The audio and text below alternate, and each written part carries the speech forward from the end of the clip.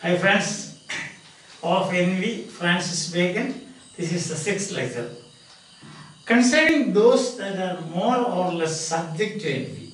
So, so, so far we saw who envies whom. Now, here in this section, what we are going to see is who are liable to be envied. To be envied. That is passive. See, the objects of envy. First, persons of eminent virtue, when they are advanced, are less envied.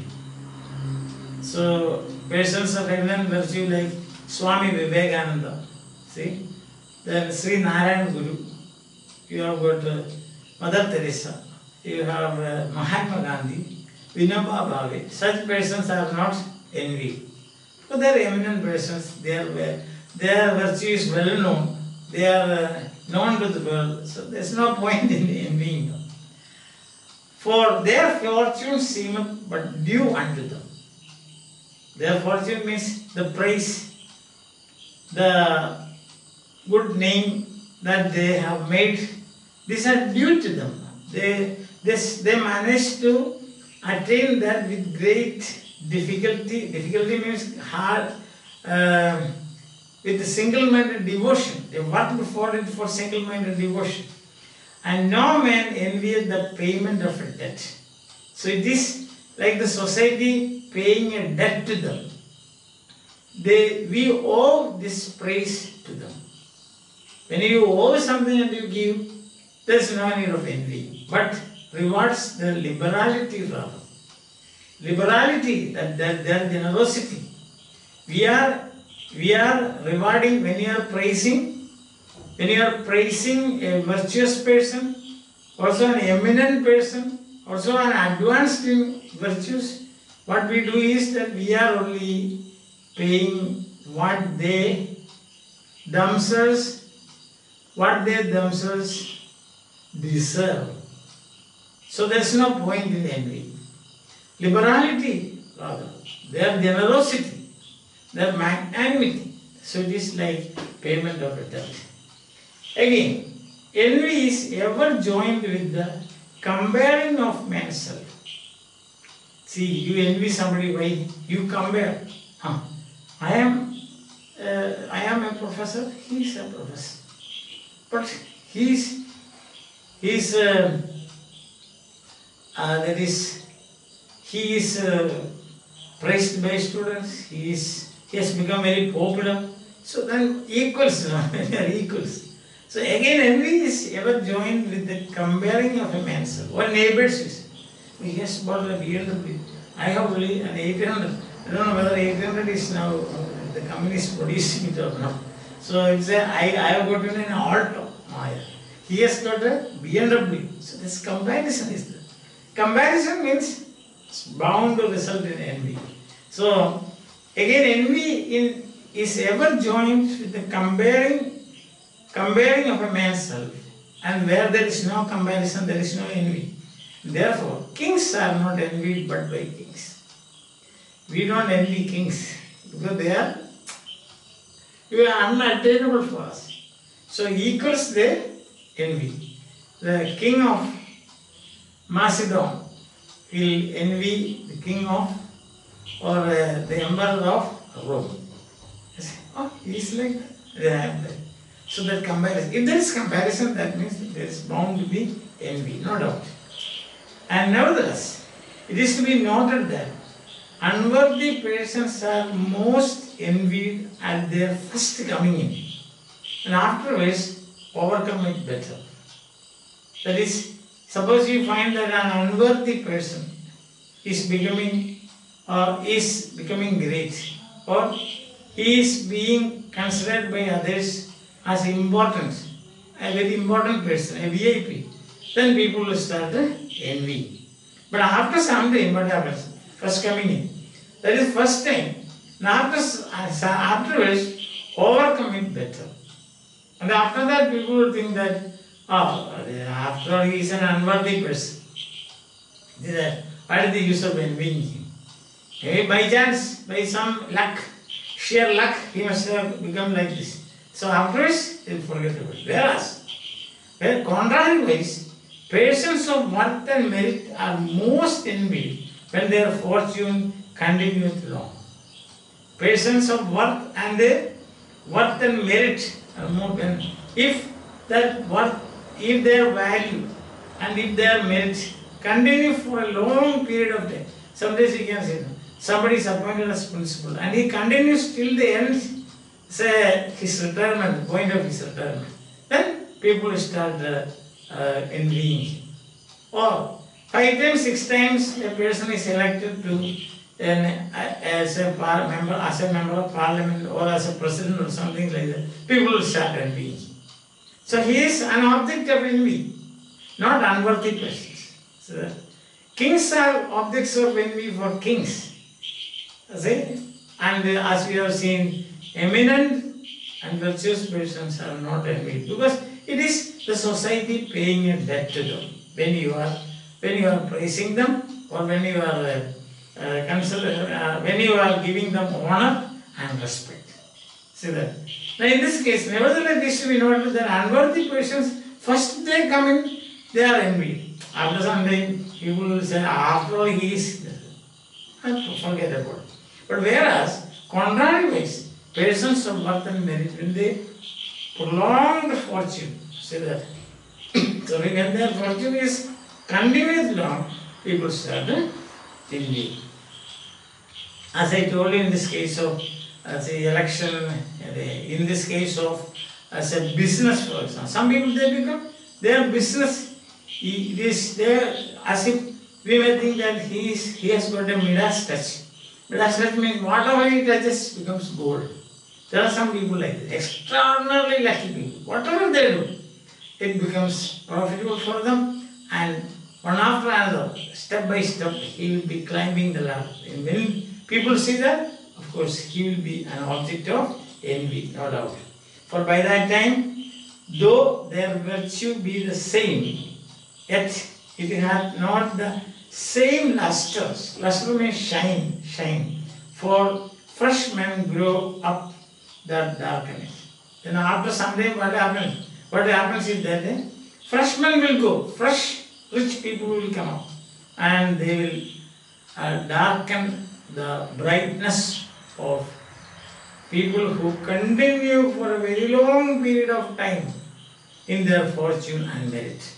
So their same virtue be the same, yet it has not the same luster, same same shine, or or same quality. See? Such people are envied, but after some time what will happen? Fresh men will come up and they will darken the brightness of their their growth, the brightness of their situation, and the brightness of their merit and worth.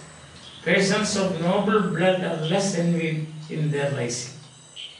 So, the son of a lord, or the son of a king, or a daughter of a king, they become queen, or uh, an emperor's son becomes an emperor. You know, there is no point in envy. Why? Because they are men of noble blood. You cannot reach them. Even if you envy, whatever you do, you cannot become equal to them. So there is, I forget about it. For it seemeth but right due to their birth. When a nobleman's son become occupies a very important position, and people will say, ah, he is the son of a nobleman, that's why he has become like this. I let it be like that, you say. You say there seemeth not much added to their fortune. That's the thing. Because he says that already he they are fortunate, or they are wealthy, already they are great. A great man's son becomes great. What of that? There. Nothing more is added to them. But a low class man slowly becomes comes up in life. Then what happens is there is addition. There is something is added to them. In this case, there is no. I like, for example, if you have got a gold coin, nothing more can be added to that. Huh? Or on the other hand, if you have got a, say, something with brass or copper, then you can add something make it brighter. In the case of a son or daughter of a nobleman, by birth they are like this, nobody can do anything, so we will forget about it. Added. and much added to their fortune. And envy is at the sunbeams that beat hotter upon a bank or steep rising ground than upon a flat. So on a flat ground, when the rays of the sun fall, not very hot. So that, but on the other hand, at a steep rising ground or on the bank of a river, the sunbeams beat the heat of the sunbeams or the rays of the sun are hotter. Exactly like that. When a low class man comes up in life, it is compared to a steep rising ground or a bank. Then the rays that that go out of the evil eye, that is the envious eye, will be hotter than than the rays of the evil eyes that go out and hiss the nobleman or nobleman's son. And simply it means that nobleman's sons and daughters are not uh, not envied because they are like the understand? It is just like the rays of the sun falling in a flat ground. No effect to it. uh, the rays of the sun falls on the steep rising ground or the bank of a river. Bank means that. Then what will happen is that the rays will be hotter exactly like that. If a low class person or a poor person comes up in life uh, the people will be more, uh, the envy will be more powerful in, in such cases rather than in the case of noblemen and their sons or daughters. That is flat. And for the same reason, those that are advanced by degrees are less envied than those that are advanced suddenly and per saltum. Per saltum is at a leap. There are two kinds of people, you know. Some by hard work, step by step, they become great. People are, don't envy him because yesterday he was a beggar and, uh, and next day he is a businessman and afterwards he is a member of a municipality and after that he becomes chairman. Then he becomes member of legislative assembly and after that he becomes a minister. From there he goes to become a governor. So that is step by step. But on the other hand, some, from somewhere somebody comes and straight away he becomes know he has got a, he had a, he, he has he had a, a humble uh, beginning. But overnight he becomes the governor of a state. I'm just giving an example. And then what happens is people will start envying. So the objects of envy who are to be envied by others. Now first we see people who are of eminent virtue they are not envied. Because if you are praising them or if you are honoring them, that is that is due to them. That honor is due to them. It is like payment of a debt. And secondly, we saw uh, envy is joined with comparison. Therefore, kings are not envied.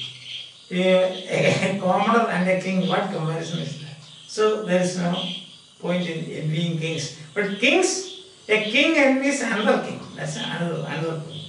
Thirdly, we saw unworthy persons when they come up first envy. Well, later on people forget about that. And then what happens is, whereas a person's fortune continues for a long period of time, then people start envying.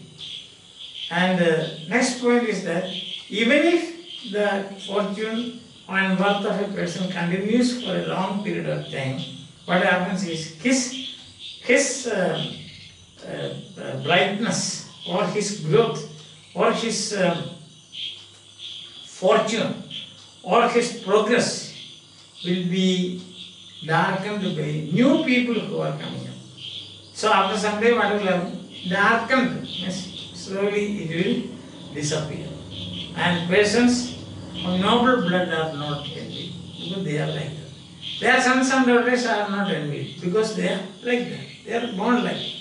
But you see, when you find when you find besides uh, some people from low level, they come. So the then that will have what will happen is that it is like the sunbeams falling on a steep rising ground or a bank. Hotter rises. The envy will be the envy envying such persons. Such persons will be envied. And then what will happen is that the envy will be hotter. Hotter means it will be very, very sharp. The envying will be sharp, but on the other hand, for a nobleman, for nobleman's daughter, it will be like the sunbeams falling on the flat ground. No effect at all. and then another point to remember is that uh, people who come up slowly in life, step by step, they are not envious. But people who come up, say, in no time, we say, in no time, or uh, today you see him as a beggar, tomorrow you see him as a king. Ah, then what will happen you definitely envy. Huh? Yesterday he used to come with me for begging. Today he is, today means not yesterday and today, but a short period of time. Such a man becomes, then, uh, uh, occupies a very important position or uh, he becomes an eminent person in the society, definitely people will envy. Not all. There are many such people. See? Some slaves become kings, become kings. Ordinary people become presidents. That is there. But step by step, that's not problem. But on the other hand, all on a sudden, he appears as a great man. Definitely, the other people envy. So they are, these are objects of envy. Hope that you are following and you are enjoying my classes. I hope so. And uh, for the time being, uh, let's put on some more confidence. That's very, very important for us these days. So we will say, we will chant this mantra together. Out, out, you troublesome virus, killer of men and animals. Get the hell out, out forever. Now, right now, from here. Bye. See you again. Have a nice time. Enjoy your life. Be a academic. Be alert. And take care of your health.